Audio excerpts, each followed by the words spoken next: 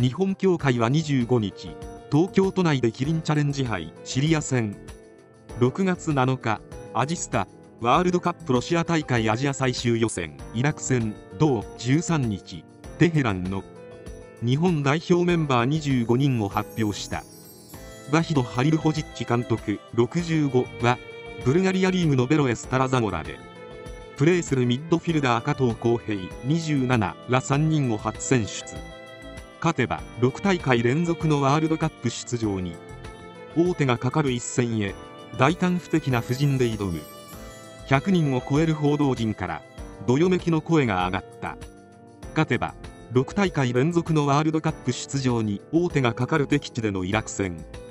ハリル・ホジッチ監督は古参をふるい落とし無名の新人を抜擢した。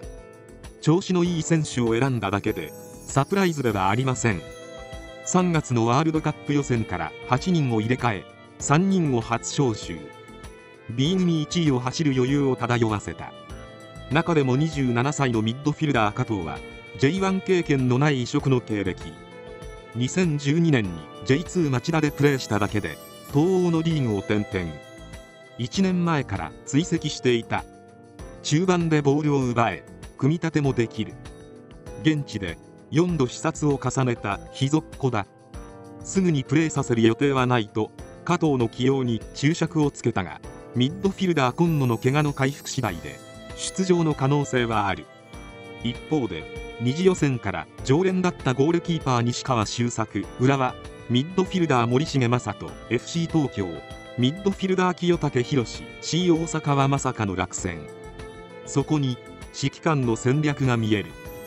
ボールが跳ねる。テクニックのある選手は生きない。イラクの政情不安から試合は中立地テヘランイランで行われるがその会場はピッチが劣悪で日本協会が改修工事を要求したほど。しかも気温30度を超える酷暑だ。パスをつなぐには不向きで敵陣にロングボールを蹴り込みこぼれ球を拾う戦術を選ぶ可能性が高い。フィジカルの強さを見込んだ加藤らを選んだのもそこに狙いがある。厳しく勝利を要求して最終予選を美しく終わりたい。28日から一足早く海外組の合宿をスタート。ロシアへの切符を一気に引き寄せる。22歳のゴールキーパー中村柏。シュートストップが自分の特徴。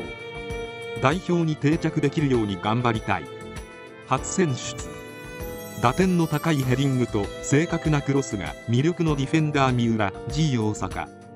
試合に出られたらしっかりといいプレーがしたい。新顔の加藤にミッドフィルダー山口 C 大阪。同じポジションとして負けないようにやりたい。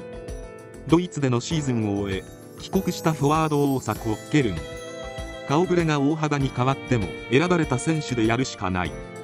みんな能力が高い選手だと思うから。みんなが同じ方向を向けば自然と良くなる。